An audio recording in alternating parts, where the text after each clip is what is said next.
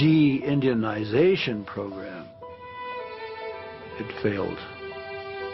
But it, it the, the toll was, was devastating. It destroyed our family. It destroyed the relationship we had with our, with our mother. I, I could never regain that friendship, loveship relationship that I had with my mother. I, I, it wasn't there anymore. And that's what, to this day, I keep thinking that, you know, damn this government, what it did to me, and what it did to thousands of other children across this country.